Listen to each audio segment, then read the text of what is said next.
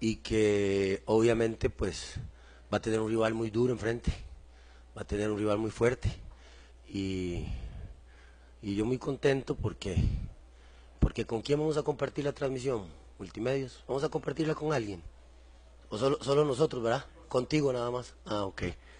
Entonces, este, muy contento porque le damos una gran final a gente que apostó y nos valoró muchísimo. Muchísimo nos valoró Tigo y Multimedios. Entonces estoy muy feliz por ellos porque gracias por apostar por el Herediano.